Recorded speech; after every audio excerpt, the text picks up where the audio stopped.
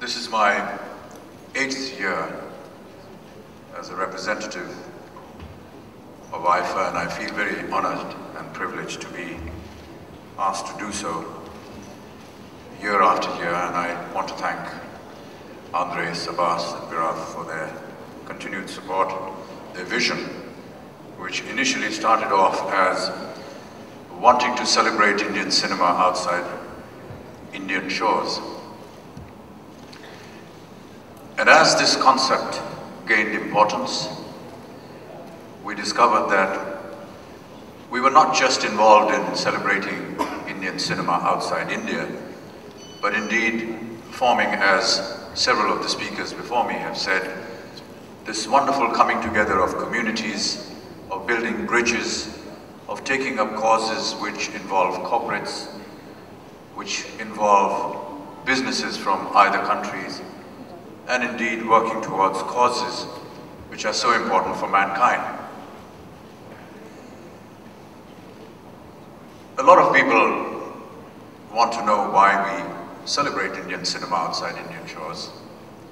And my response has always been that there were times much before IIFA was formed when during my travels outside India, I used to be accosted by people who were not from my country, who did not look like Indians, who did not speak our language, and who continued to recognize us through our names and our songs in our films.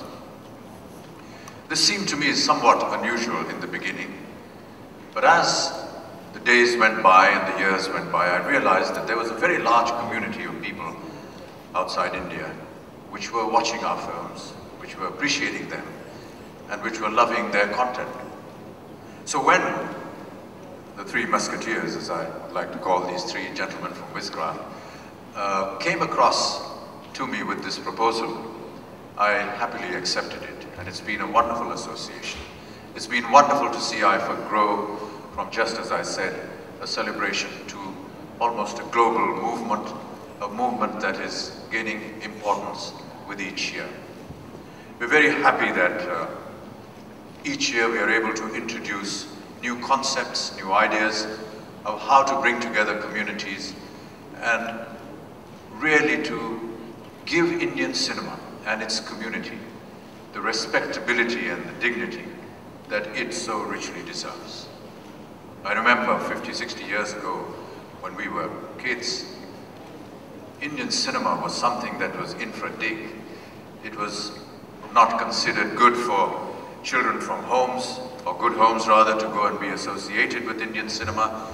We ourselves as kids were, were not allowed to enter the movie hall, and if there was a particular film that we wanted to see, it was first going to be vetted by our parents before we would be allowed inside the cinema house.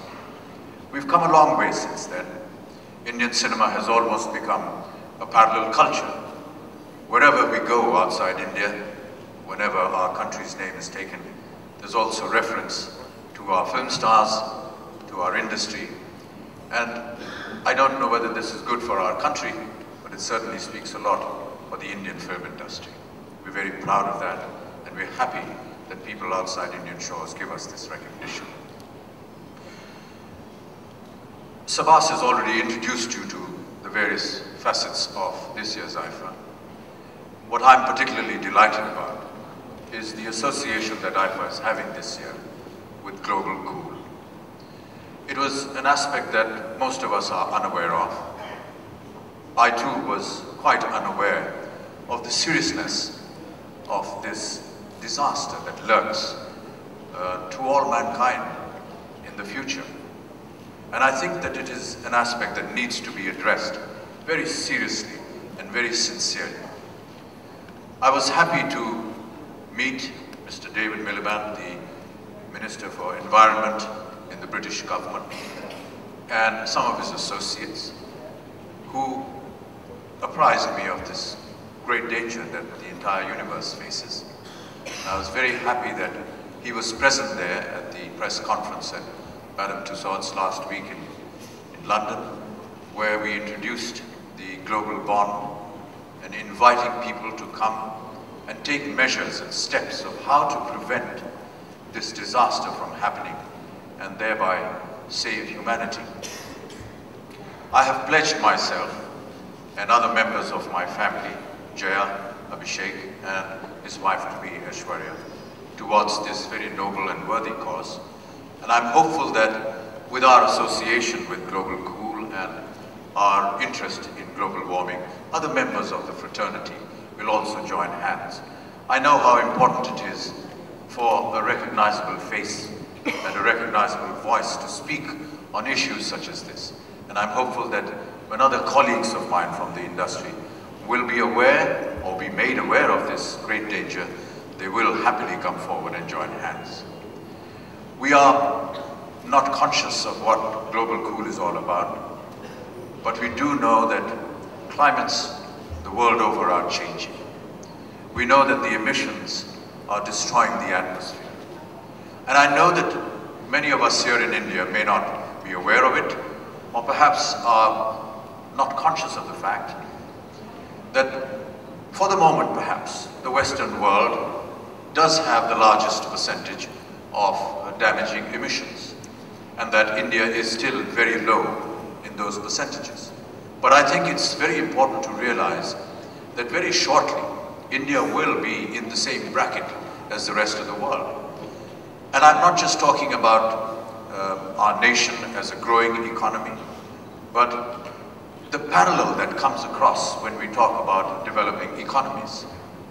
There was a very interesting remark made by the Mayor of London when we were uh, at a reception hosted by the Indian High Commission at Nehru Center.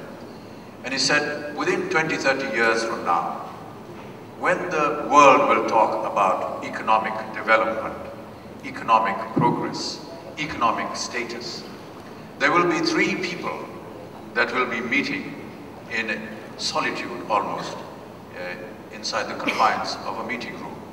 And they would be the President of the United States of America, the President of China, and the Prime Minister of India. I think it's, it's a very valuable observation to make because it shows how important this region is becoming as far as economic progress is concerned. With economic progress, it is being projected that India will have a very large middle class, a very large middle class that will be very affluent, a very affluent middle class that will be exposed to consumerism, a very large middle class that will use these consumer products and be the reason and cause for a lot of damaging emissions. And that is why it is important that we today become aware of this fact and start taking preventive measures to control this disaster that is going to come our way. Some of the do's and don'ts I'm still being made aware of, but I know that there are very, very simple little things that all of us can practice and do in our time in order to be contributing towards the large number of damaging emissions that are taking place. Simple things like not putting your television set on standby, on not keeping your mobile charger on for beyond its time, for using CFL bulbs, putting off the extra electricity that we're using. Very simple things. But I know that they will go a very long way in supporting this very noble cause that Global Cool is propagating. I'm very happy that IIFA is associated with it and I urge my fellow colleagues to also join in and help towards this very noble cause. I'm delighted also that we've chosen Yorkshire in Great Britain this year. Yorkshire is perhaps um, a name that is little known to Indians, and I'm hopeful that after IIFA stages its event Yorkshire, it will become something that every household in India will come to know. We chose Yorkshire because it was unusual. We chose them because the people that we've been interacting with for the past year have absolutely been flooring us with their hospitality, their affection, and their love. Yorkshire is a very important segment in the history of Great Britain, very little is known about it, but I'm sure that as the event progresses, people will know how important an ingredient it is in the progress of the country in that part of the region. And very soon, I'm hopeful that tourists and people that will be watching our program will also visit this most beautiful countryside and add to the glamour and the dignity and the respect that the Yorkshire people have been giving us during this past year. I was given, as you saw in one of the videos, a wonderful symbol of Yorkshire, the white Yorkshire rose on my lapel. I carry that as a symbol of the affection and the love of the Yorkshire people. And I promise you that we will contribute equally, if not more, in giving back that love and affection from us Indians and from the Indian film fraternity to the people.